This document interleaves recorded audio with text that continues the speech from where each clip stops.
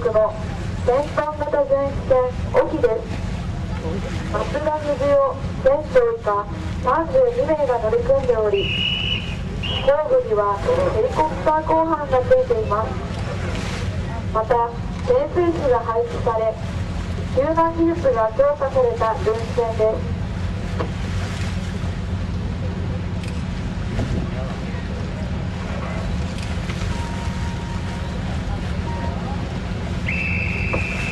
二段線は敦賀海上保安部所属の350トン型巡視船越前です葛西正樹船長以下25名が乗り組んでおり潜水士が配置された巡視船です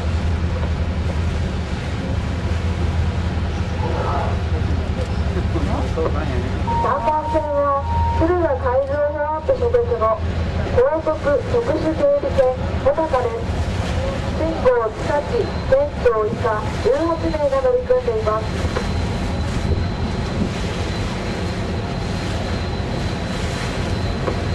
4番線は舞鶴海上保安部所属の巡視艇青いです。西谷和義船長以下5名が乗り組んでいます。続きまして関係機関の先生による海上パレードです。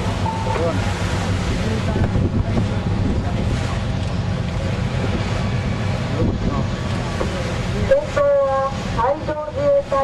舞鶴警備隊所属ミサイル艇はやぶさです。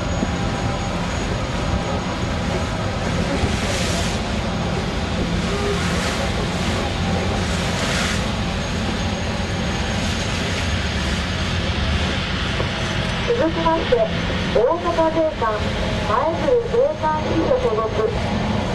視艇波早です。舞鶴郊外における税関手続きなどに関する監視業務を行っております。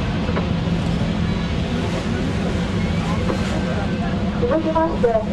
京都府警察所属警備艇ミラです京都府沿岸における警戒等の業務に当たっております。続きまして京都府小型船安全協会所属よしこです京都府小型船安全協会は主に遊漁船や手渡し船などの小型船舶の海難を防止するとともに運航マナーの向上を図ることにより安全で秩序ある海洋レクレーションの普及と発展を目的として活動している民間団体です。続きまして航空機によるブレーキです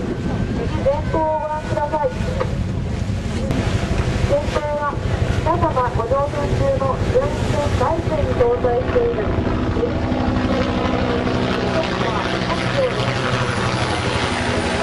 海上自衛隊第23航空隊所属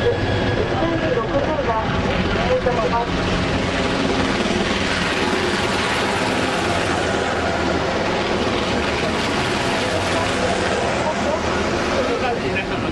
観光丸新潟飛行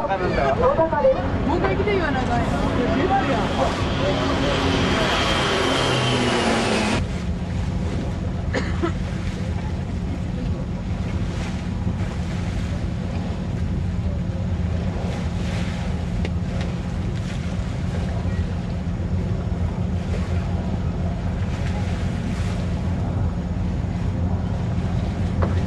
前方をご覧ください。大機である琥珀町そして海上自衛隊舞鶴航空隊所属 SH62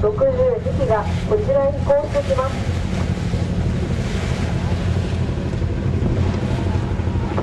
本線の手前で琥珀町は本線の前方にまた SH60 は機がそれぞれ本線の前方と後方に